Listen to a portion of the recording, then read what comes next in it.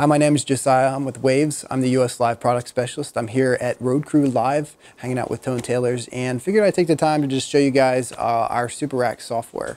Um, some of you, a lot of people out there might already know about Multi-Rack, which has been our live plugin DSP processing software for years um, that is basically used in conjunction with uh, other consoles. Um, so uh, in that, uh, Super Rack now is the next uh, version of, of that. Uh, so basically now Super Rack will support all, all future plugin formats going forward. And uh, but the biggest difference in the technology that we're doing now these days with Super Rack is um, now Super Rack allows sharing. So if you have a few systems, like in this instance, I have a Super Rack system here, and I'm sharing um, I/O between uh, the LV1 system and SuperRack. LV1 is our live mixing console. Um, so you could share between the LV1 mixing console, you could share between another Super Rack system. So if you have uh, maybe a two Digicos and you guys want to share um, playback, um, just run playback through the driver. Uh, you could send it to both systems by sharing the drivers. So you can share drivers, share I.O. So it creates a lot of flexibility in the system.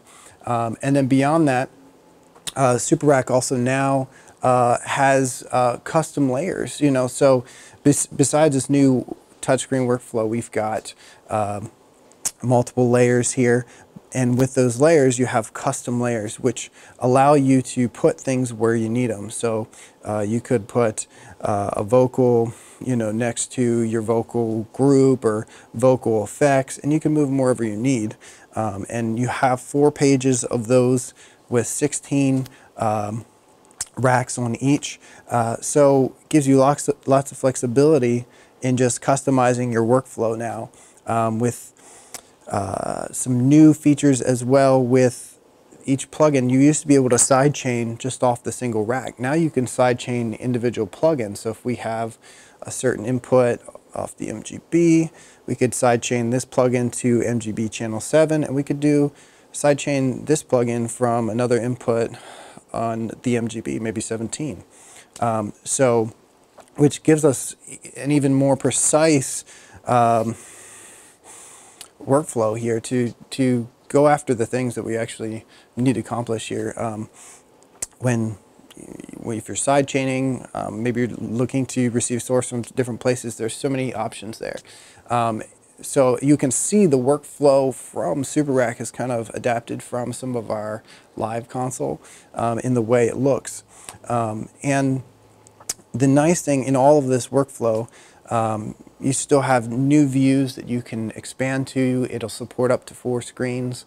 Um, so you can drag any of these windows out and, and move them to wherever you, you need them. If you have another screen attached, um, you can drag a plugin out. If you want to see it on another screen, it's something you need to see up front and right away. Um, same with any user keys or hot plugins. Uh, you can drag those out and see them on screens and save those in snapshots. So it makes it easier to get around, makes it your, your customized workflow a lot easier, as well as um, the addition of other effects too. So if you have a hardware piece of gear that you want to integrate into Super Rack, um, you can add it to within your chain of plugins here. So I have uh, maybe a, a, couple waves plugins here for my vocal chain and I can add an external insert. If I've got a hardware piece of gear, I can take an analog source here um, and patch the send and return from the analog input. Um, or, you know, if we have digital via MADI over our MGB here, we can come in MADI or we can even use uh, a driver. So if we have another um, effect on a computer that we want to patch in, we could use the digital driver, SoundGrid driver, and send to and from. So, and now that's a part of, you know, our chain um, for our channel. And in that, you know, you're granted you are whatever latency is induced by that uh, hardware piece of gear or plug-in or other computer, um, you know, that'll affect your channel, but we do give you a an option if you can measure the latency to adjust the latency here.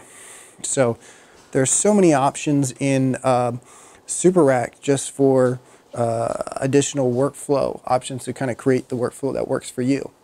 So thank you again for watching. Um, This is Josiah with Waves Live. Take care.